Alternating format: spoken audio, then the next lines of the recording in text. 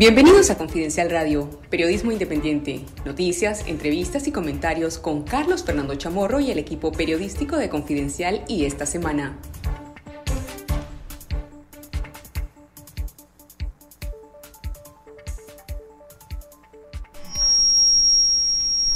Hola, ¿qué tal? Les saluda Arlen Cerda, periodista y editora de Confidencial. Gracias por acompañarnos en una nueva edición especial de Confidencial Radio. Estamos muy contentos de saludarles en este nuevo espacio, un espacio que hemos creado para compartir con ustedes todo lo mejor del periodismo investigativo que hacemos en Confidencial y en esta semana. Esta ya es nuestra cuarta edición especial de Confidencial Radio. Como cada jueves, hoy aprovecharemos este espacio para informar, para comentar y para analizar las noticias más destacadas en compañía de nuestro equipo periodístico. También vamos a, tener la oportunidad de conocer sus inquietudes sobre temas que nos afectan a todos como nicaragüenses. Recuerden que este es un espacio para ustedes, es un espacio que hemos creado para seguir derrotando juntos la censura televisiva que ha impuesto en Nicaragua el régimen de Daniel Ortega y de Rosario Murillo. Gracias por escucharnos a través de la frecuencia de Radio Corporación y de Spotify. Nuestro director, el periodista Carlos Fernando Chamorro, va a estar de regreso con nosotros la próxima semana en este espacio. Estoy bien acompañada esta mañana. Tengo aquí a Elmer Rivas, nuestro productor audiovisual de los programas esta semana y esta noche. Hola Elmer, ¿qué tal? Hola Arlen, gracias y gracias a toda nuestra audiencia que nos sintoniza a través de Radio Corporación, que nos escucha en nuestros podcasts en Spotify y nos ve a través de nuestra transmisión en Facebook Live, en Facebook de Confidencial. Les saluda Elmer Rivas y damos inicio a esta hora de informaciones, análisis, comentarios y entrevistas con los periodistas de Confidencial. Y esta semana quiero invitar a todos, a todas las personas que nos escuchan a reportarse, a enviarnos sus comentarios, sus preguntas al número de WhatsApp 8252 4383 8252 4383.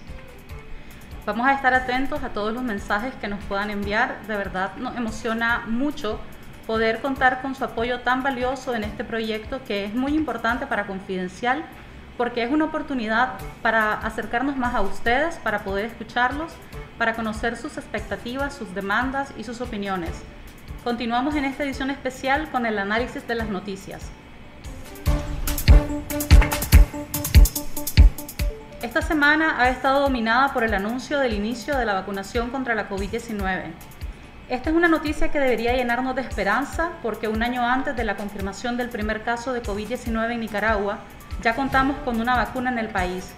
Sin embargo, la respuesta oficial que está dando el gobierno sigue dejando más preguntas que respuestas y hay varios cuestionamientos sobre cómo se está llevando todo este procedimiento. ¿Qué deberíamos de saber a la fecha? El gobierno debería haber publicado y explicado en detalle cuál es el plan de vacunación. Deberíamos saber si este plan se está trabajando en conjunto con, otras organizaciones, con otras instituciones del Estado y cuáles son esas instituciones. De acuerdo con los lineamientos de la Organización Panamericana de la Salud, este es un documento que debería ser de conocimiento público.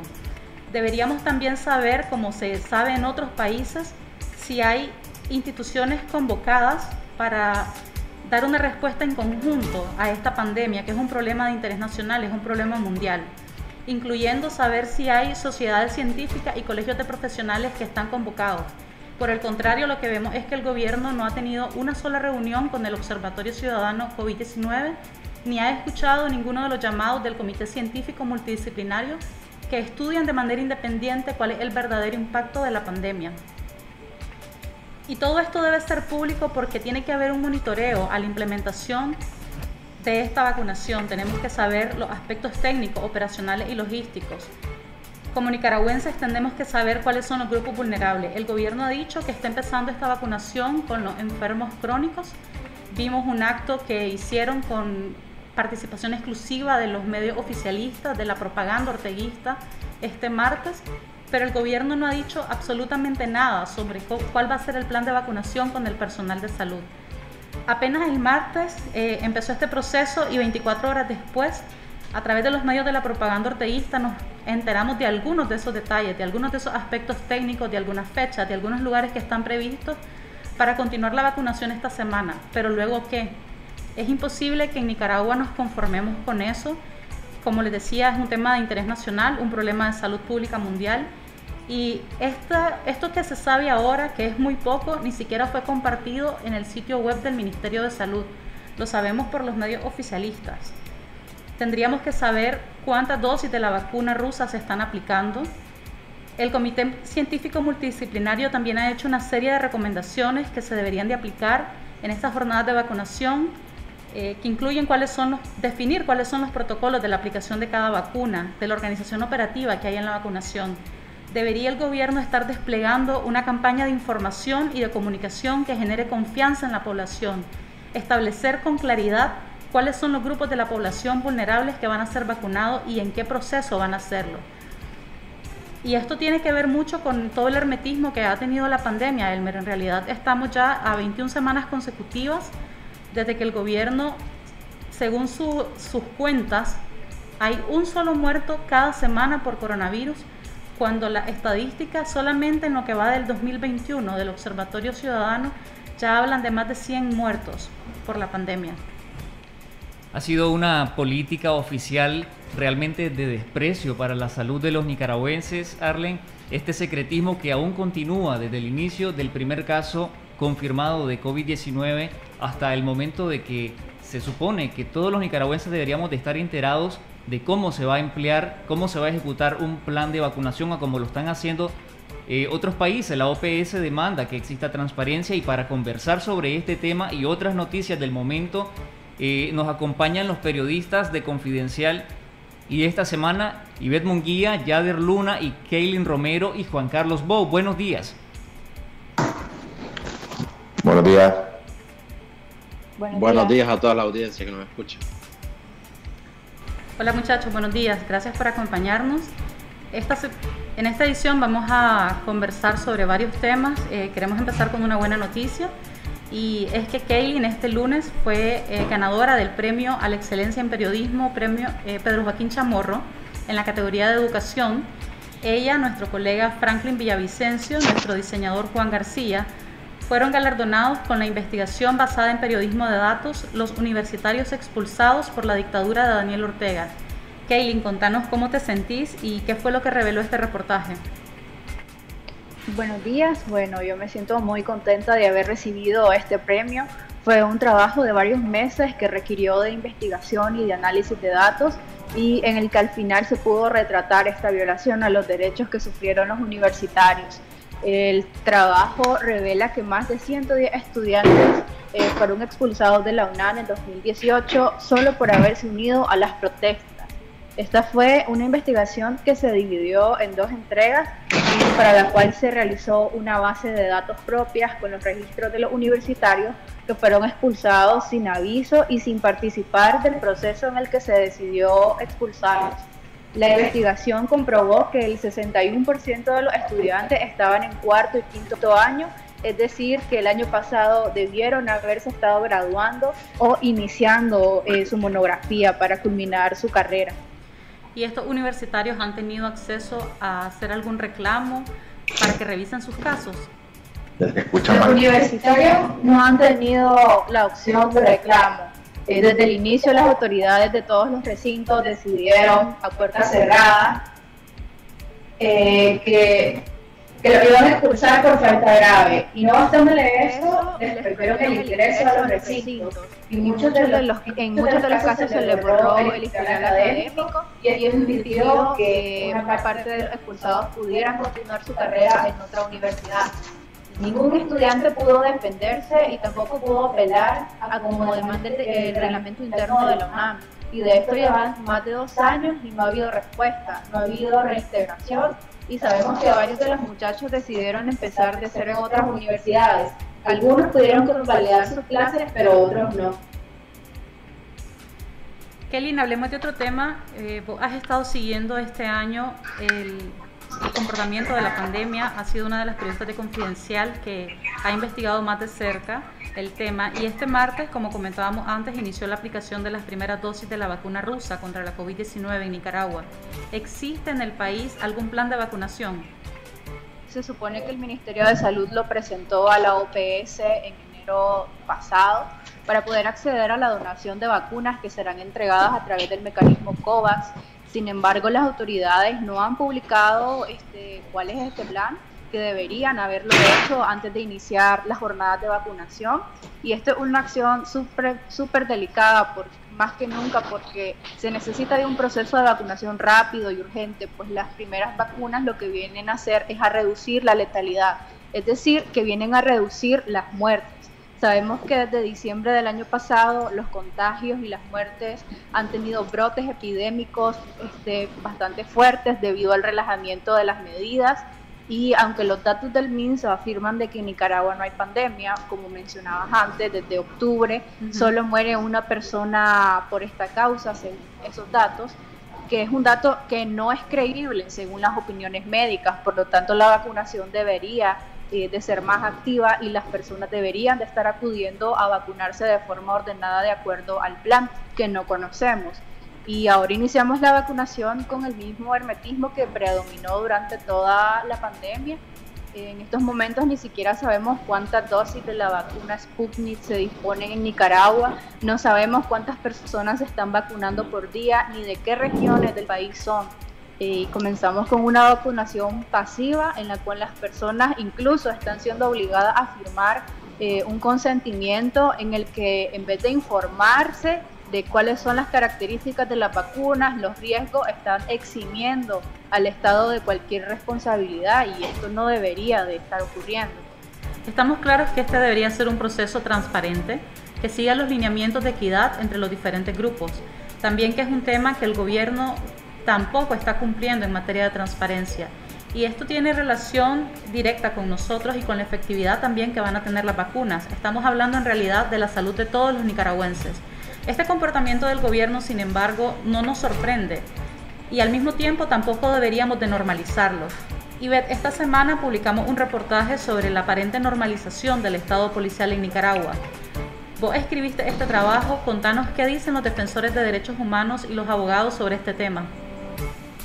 Precisamente el régimen de Daniel Ortega ha venido en los últimos años imponiendo este estado de sitio policial que, eh, con el objetivo de que la población normalice la violencia y los abusos de poder. Sin embargo, especialistas en psicología, derechos humanos, historiadores e inclusive gente eh, del sector comercio, consultados por presidencial, consideran que no existe tal normalidad en el país. Que la población en realidad está eh, autorreprimiéndose, haciendo todo para sobrevivir. Por, la vida, pues lo que dicen los psicólogos es que la vida tiene que continuar, pero un dato importante es que a pesar del estado judicial, que el régimen pretende normalizar eh, todos estos abusos de poder, la población, eh, el malestar de la población persiste. El hecho que la gente salga a trabajar, que los niños vayan al colegio, que eh, la gente trate de, de, subsistir de alguna manera, porque pues hay que hacerlo. Eso no significa que la población haya aceptado todos estos abusos del régimen, que son un sinnúmero, no que van más allá del estado de sitio policial, está también el adoctrinamiento en los colegios, eh, la politización de las diferentes instituciones del Estado, eh, los abusos ahora mismo con la vacuna eh, contra la COVID-19 y todo, el, y todo el problema que ha habido durante la pandemia, que se nos ha negado información a los nicaragüenses la limitación, eh, la violación a nuestro derecho a protestar, el derecho de los nicaragüenses a la libre movilización, todos estos abusos el régimen nos quiere normalizar, pero eh, eh, un dato curioso es que el malestar de la población persiste y que es algo que en algún momento se le va a revertir al régimen gobernante. Ivette, en el programa de ayer de esta noche nosotros conversábamos con los excarcelados políticos William Balmaceda eh, y Hugo Brenes, que son asediados y son perseguidos jurídicamente. Acá en el país existen líderes de opinión, a veces incluso líderes religiosos que dicen, aquí vamos a pedir para que en este año electoral, presuntamente electoral, no haya violencia. ¿Acaso no vivimos en un estado de violencia? ¿No es la violencia como parte de una política oficial? Eh, vivimos en un sistema de violencia permanente. Eh, el problema es que eh, mucha gente tiende a confundir el hecho de que no hayan protestas masivas, que la gente no salga como que todo está bien, pero el hecho, ese, ese, esa aparente normalidad no significa que las cosas están bien en el país. Eh, hay personas que no pueden eh, siquiera salir de su casa y personas, recuerdo el caso de la abogada de Somoto, Danielia Argüello, que se estaba tomando un café en la casa de un vecino y llegó la policía a arrestarla arbitrariamente. toda esa violencia persiste y, se va, y el descontento de la población se va acumulando cada vez más. Tenemos claro que el gobierno intenta normalizar la violencia, intenta que los nicaragüenses nos acostumbremos a este estado permanente de violación de derechos humanos, a este estado policial de facto. Vemos todos los días policías apostados en las rotondas, sin embargo también sabemos que hay una gran resistencia de la población, que al día de hoy no hay un solo preso político que se haya quebrado, que haya cedido a las presiones del régimen. Y de hecho ayer mismo en los juzgados de Managua mirábamos el caso de Sergio Beteta, que ya tiene varios meses detenido. Eh, lo vimos a él alzando una bandera de Nicaragua, quemando una bandera del Frente Sandinista en la vía pública, gritar Viva Nicaragua Libre. La policía lo detuvo y lo siguiente fue ver la acusación por un supuesto delito de tenencia de armas y de tráfico de drogas. decían que tenía marihuana y lo han declarado culpable ayer y están pidiendo una condena de 16 años de cárcel. ¿Es así, Yader? Así es. Eh, hola a todos los que nos escuchan en Confidencial Radio. Pues básicamente lo que la justicia orteguista hizo el día de ayer eh, es seguir el patrón de encarcelamiento y de condena para los presos políticos con eh, estos juicios irreales y, evidentemente políticos. Pues el caso de, de Sergio pues es evidente que es una condena política porque hay videos, hay videos donde se muestra a Sergio quemando la bandera del Frente Sandinista y cargando la bandera de Nicaragua y protestando. Eh, ¿Cómo es posible que, después digan que, que, andaba droga y que andaba arma en su mochila? Pues cuando toda persona que saca la bandera de Nicaragua sabe que la va a encarcelar. Así que alguien que anda traficando droga básicamente no andaría, no andaría gritando eh, viva Nicaragua libre. Pues eso, esa es la primera muestra, o la muestra fehaciente de que este es un juicio político, como dice su abogado defensor, el doctor Julio Montenegro. Sí, escuchábamos también las declaraciones del doctor Julio Montenegro en, una nota que publicamos hoy en confidencial en confidencial.com.ni y eh, lo irónico de este caso, lo, que hay, lo que hay que hacer notar es que por unos supuestos delitos de una fiscalía que ya antes se ha denunciado, que funciona como una fábrica de delitos, se están pidiendo 16 años de cárcel por supuesta tenencia ilegal de arma y por supuesto narcotráfico. Y en cambio, en noviembre del año pasado mirábamos la sentencia contra Abner Pineda, que fue señalado y procesado por el asesinato de Jorge Luis Rugama en la Trinidad de Estelí. Y el muchacho quedó en la vía pública el 19 de julio durante una caravana del Frente Sandinista y la condena de ese juez en ese momento por ese caso fue de un año de prisión y además se ordenó su liberación inmediata. Vos, vos estuviste cubriendo este tema, viajaste a la Trinidad, conversaste con la mamá de Jorge Luis. ¿Qué opinión tenés sobre este antagonismo que vemos en, la justicia orteguista? Eh, básicamente miras el doble rasero que, tiene la justicia en Nicaragua. Por un lado, a un asesino, porque eso es Adner Ponel Pineda Castellón, él es un asesino. Ya, aunque lo traten de tachar de simpatizante sandinista, ya, lo que es, un asesino, ya, además que es confeso, él ante el juez dijo que sí, pues lo había matado, ya, y los atenuantes que hace la justicia es de de que él estaba bajo, los efectos del alcohol.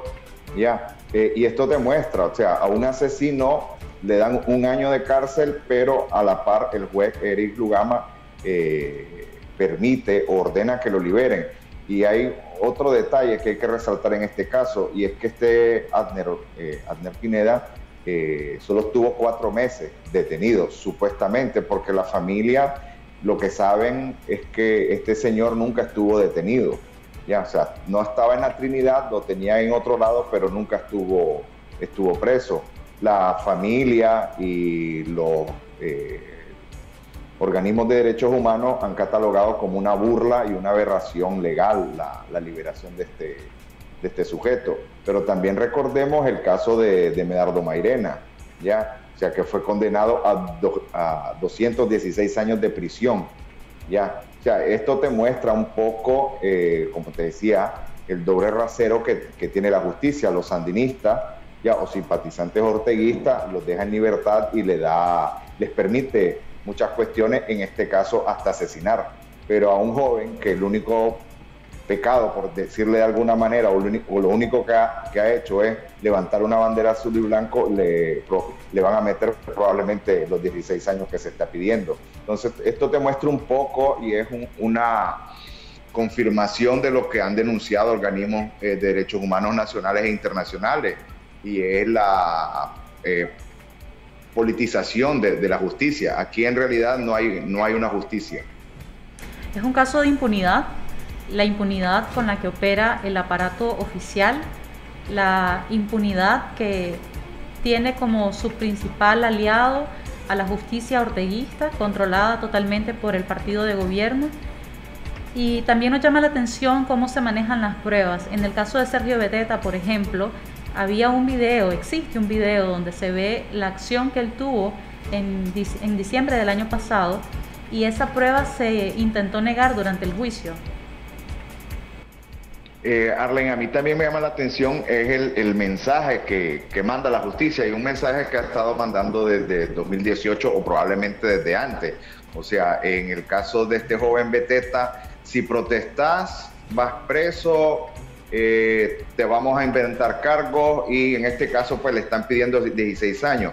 Mientras que en el caso del simpatizante sandinista Abner Pineda, eh, lo liberan luego de haber matado a, alguien. O sea, si sos sandinista, estás impune, como han estado, eh, como ha estado Adner y han estado los las decenas, por si no cientos de paramilitares que han violado derechos humanos, que asesinaron a tantas personas en 2018 y no hay un solo detenido por esos asesinatos.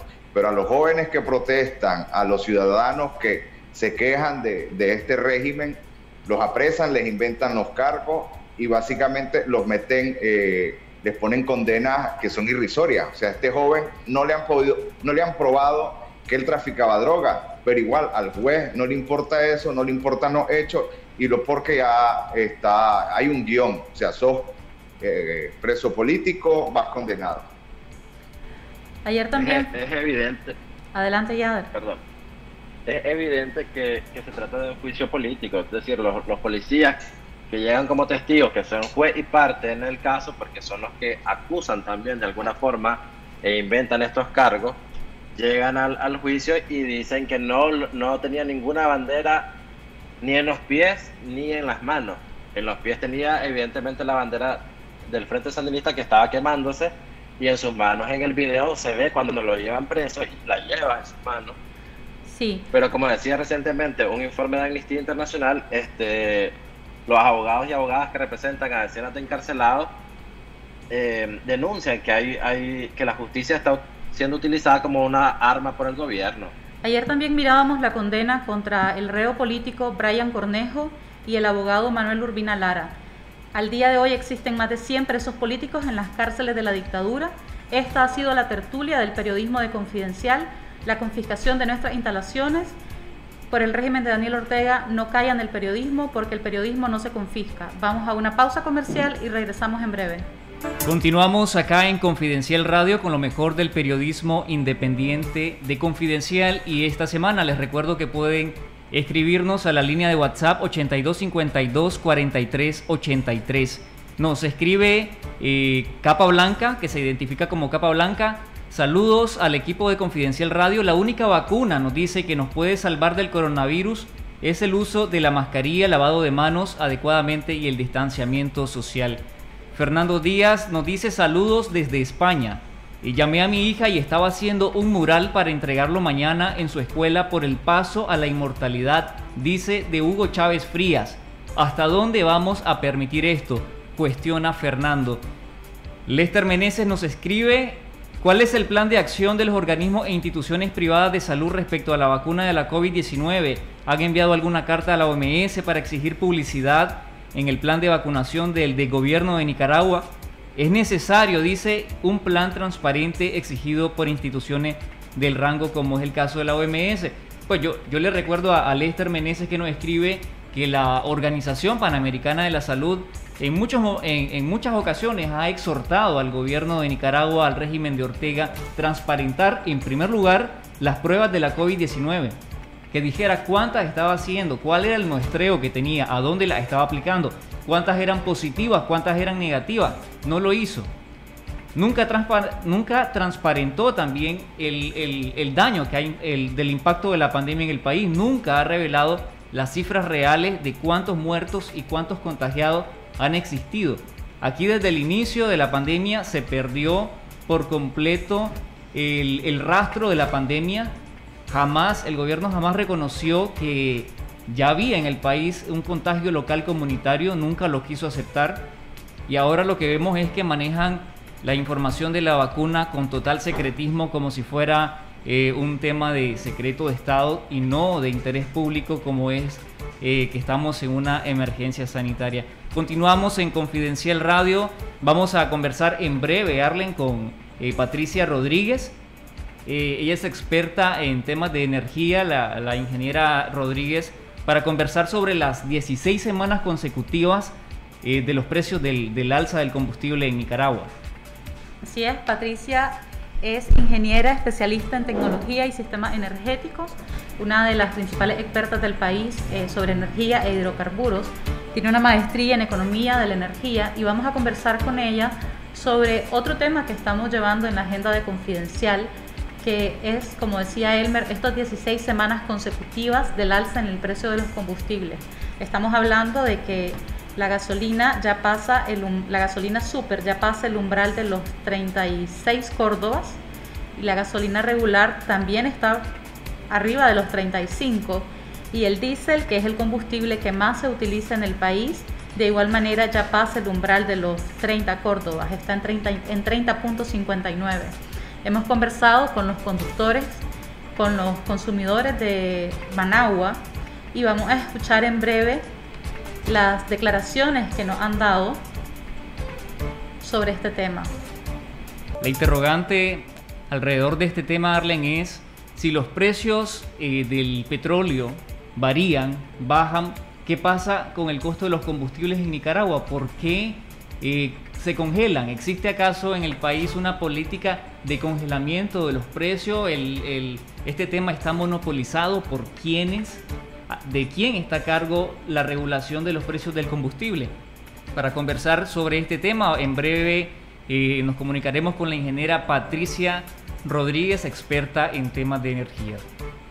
Vamos a, escuchar eh, qué nos dicen los usuarios de transporte, los taxistas, cómo les ha afectado este tema del, del aumento y de las alzas de los combustibles.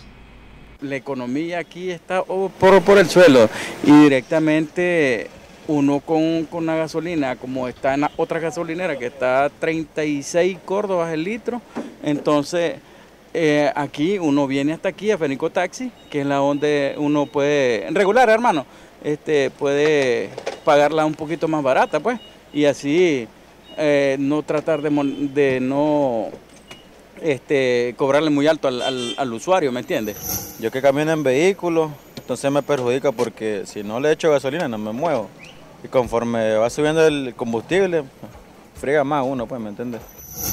Antes fuleaba el vehículo con 1500, ahora son 1700. Igual tengo dos vehículos, igual porque el diésel también ha subido. Por lo general fuleo ah, cada semana porque hago 100 kilómetros diarios.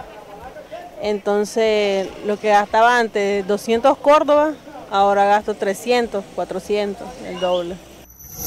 También nos impacta en, el, en la economía de la casa, pues, porque antes invertíamos menos en combustible y ahora, imagínense, solo para arriba, para arriba, para arriba y cuando llega a bajar, centavo.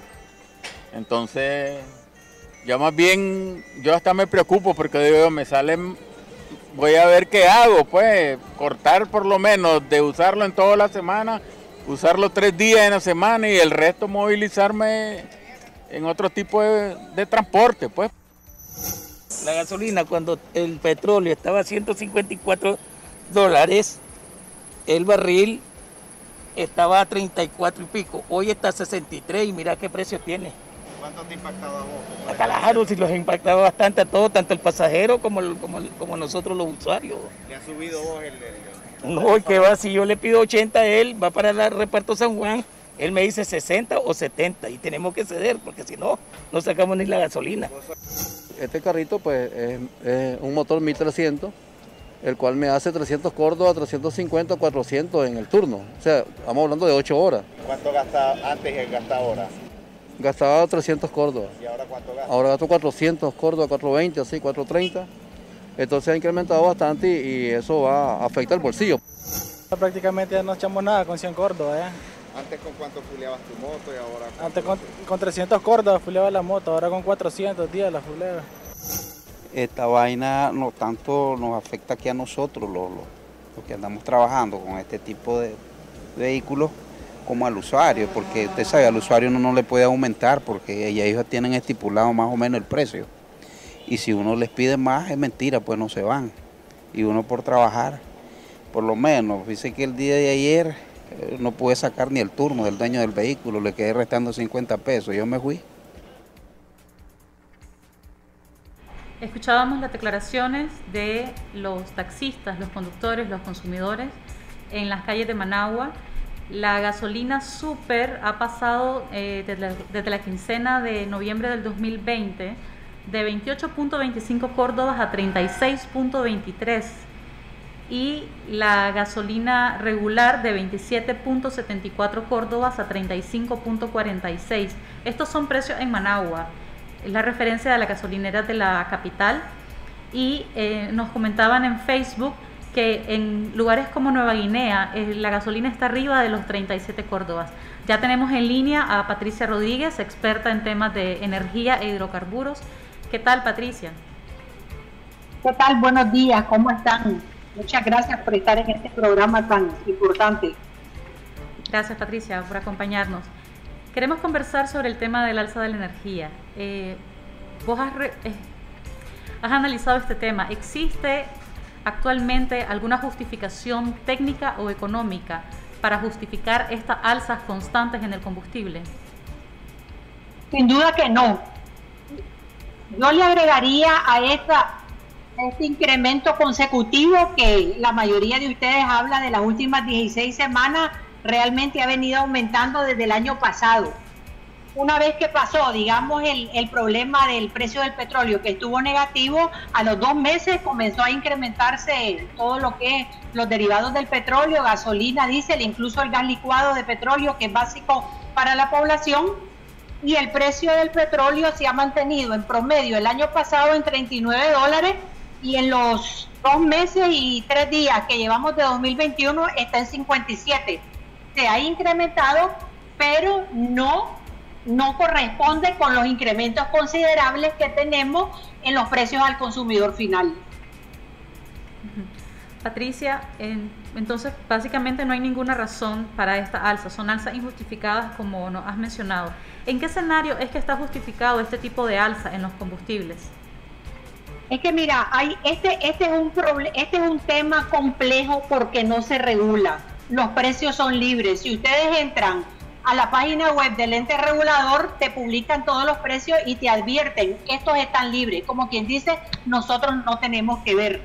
Pero, ¿cuál es la manera para nosotros decir qué es lo justo que corresponde, que tiene que la ganancia de la petrolera? ¿Cuál es lo justo? Porque la ley de suministro de hidrocarburos dice que los precios a los consumidores finales tienen que guardar un equilibrio entre los que suministran y entre los consumidores. Y hay un artículo muy importante en esa ley donde dice que el INE tiene que controlar los precios donde corresponda y debe prohibir y velar que no se realicen actividades para fijar artificialmente los precios de los hidrocarburos. Entonces, si nosotros no sabemos cómo las petroleras definen sus márgenes, el INE debería de intervenir y explicarnos cómo es que ellas definen sus márgenes de ganancia, porque ahorita nadie lo regula. Entonces, una de las maneras de, de, verificar si se justifica o no estos incrementos ante un incremento en el precio del petróleo es verificar los márgenes de la distribuidora. Igual cuando baja el precio del petróleo, tenemos que verificar si efectivamente ellas están bajando el precio referido al, al, al, al precio de referencia con el que compran el petróleo y sus derivados. Patricia, ¿y cuál es la entidad exactamente que debería estar regulando estos precios? Es el INE. El INE es el ente regulador este, y es en la ley de suministro de hidrocarburos está, está claro que tiene que controlar los precios. Por eso es que ustedes ven que ellos son los que publican y le dan seguimiento a los precios a los consumidores finales. ¿Qué es lo que tiene que hacer el Ministerio de Energía y Minas? Definir políticas que redunden en beneficio de la, de la población y también de, lo, de los suministradores de, de derivados del petróleo, políticas que mantengan una, una estabilidad un equilibrio entre los intereses de ambas partes, de manera similar a la energía eléctrica, aunque hemos visto pues que en energía eléctrica también tenemos muchos elementos que inciden en que sean precios altos cuando no deberían de serlo. Pero aquí es el INE el que tiene la voz cantante por ley. Orlando Espinosa nos comenta en Facebook, en la Guinea está arriba de 37 córdobas el costo por litro del combustible. Buen negocio se tiene en la dictadura a costa del pueblo. Patricia, ¿existe entonces en el país una política no oficial de congelamiento de los precios de los combustibles? Es decir, ah, no hay una política, no hay una política que diga que se tienen que mover respecto a los precios del petróleo en el mercado internacional. ¿Qué hacen las petroleras? Las petroleras compran, ¿verdad? Petróleo y su derivado. Aquí tenemos que ver dos cosas. En Nicaragua tenemos una refinería y se produce y se producen derivados del petróleo en la refinería. Producimos localmente gasolina, super regular y diésel, además de gas licuado y otros combustibles, ¿verdad? Pero ¿qué pasa? Del 100% de nuestras necesidades, el 25% aproximadamente se, produce localmente y el 75% lo importamos. Entonces, ¿cómo se tienen que definir esos precios? Tenemos que referirnos a una ecuación que se manejaba eh, eh, de 1999 y años anteriores sobre los precios de paridad de importación, donde se controlaban cuál es el precio que usan las petroleras para importar los derivados y para también el precio del petróleo de referencia para producirlo localmente, más todos los costos que conllevan traerlos al país, el frete, el seguro, el almacenamiento y despacho y sus márgenes de comercialización. En otros países como Perú, estos márgenes de comercialización están limitados. Entonces, lo que nos hace falta es que el gobierno a través del MEM defina una política de control de la ecuación de definir los precios a los consumidores finales, que lo hacen libremente las petroleras, y al INE controlar esos precios. Eso es lo que tenemos que hacer. Patricia, ¿cómo quedan los consumidores nicaragüenses ante esta falta de regulación con el alza en los precios de los combustibles o con el manejo mismo de los precios? Sí, totalmente desprotegido. Fíjate que yo estaba viendo la, última canasta básica que publica el Instituto Nicaragüense de Información y Desarrollo y pone que para transporte son 240 córdobas mensuales. Y ahorita las entrevistas que ustedes hicieron a los taxistas y los dueños de vehículos este, superan los 400 córdobas al mes. Es decir, este, no existe una relación directamente proporcional entre las necesidades básicas de la población para transporte y la realidad. Y entonces, por ser un bien básico, debería de controlarse eso. ¿Por qué? ¿Qué pasa? La solución no es que aumenta la canasta básica y aumentemos los salarios. La solución es que controlemos los precios de la canasta básica con una regulación eficiente, que todo el mundo tenga ventaja. Entonces, aquí los consumidores estamos desprotegidos porque el transporte no solo se refiere al transporte colectivo en buses, también hay gente que tenemos vehículos y nos movilizamos en ese vehículo a nuestros sitios de trabajo, a hacer nuestras compras. Las personas utilizan taxis. Yo conozco muchísimas personas que ahora contratan taxis por seguridad que los lleve y los traiga de un lugar a otro. Entonces, todo eso no tiene un costo de 240 Córdoba. Y ahorita tienen 400. Mañana puede, puede eh, incrementarse en, el porcentaje de acuerdo a los intereses de las petroleras. Entonces, sinceramente, eh, estamos desprotegidos y mientras no haya un control y una regulación, pues los consumidores no podemos hacer más que seguir protestando y exigiendo que las autoridades energéticas del país hagan este, acción sobre este tema. Patricia, muchas gracias por tu participación. Vamos a seguir conversando sobre esta alza en los combustibles en la, cobertura de nuestro sitio web confidencial.com.ni, nuestras redes sociales y nuestra línea de WhatsApp. En Confidencial hemos publicado también varios trabajos sobre esta jugosa ganancia de las petroleras en Nicaragua y también sobre cómo las petroleras se han embolsado estos millones a raíz de la crisis sociopolítica y económica que vive el país, justamente cuando el país peor la ha pasado, cuando ya tenemos, este es el cuarto año que la economía nicaragüense ve en picada y estamos con salarios básicamente congelados, con un aumento irrisorios en el ajuste al salario mínimo y el alza de la canasta básica, el alza de los precios de los combustibles, pero las petroleras tienen unas ganancias millonarias. Les invitamos a leer estos reportajes en confidencial.com.ni.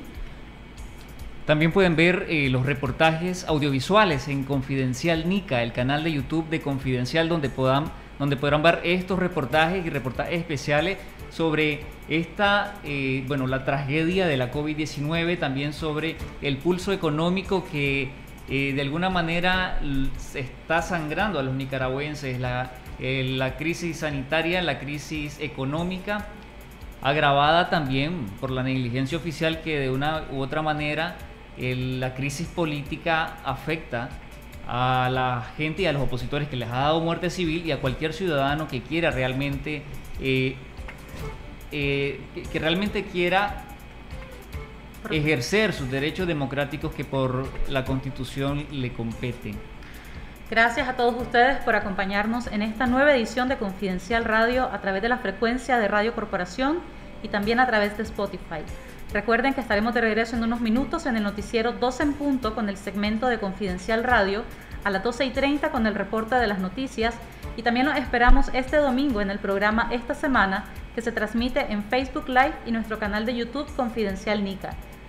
No queremos despedirnos sin antes agradecer a toda la audiencia que nos ha escuchado, que nos ve a través de Facebook Live e invitarlos a seguirnos en todas las redes sociales en que aparece Confidencial en Instagram, en Facebook, en Twitter eh, y les invitamos a suscribirse a la línea de WhatsApp para recibir la información verificada con las alertas noticiosas de Confidencial. Eh, por la vía de WhatsApp 8577-1820. 8577-1820. Usted eh, envía un mensaje a esa línea, guarda ese contacto y de, y de inmediato quedará suscrito a las alertas, a las noticias, a las investigaciones de rigurosidad, de confidencial y el equipo de esta semana. Les agradecemos por su sintonía. Nos vemos en la próxima edición especial de Confidencial Radio el próximo jueves a las 11 de la mañana.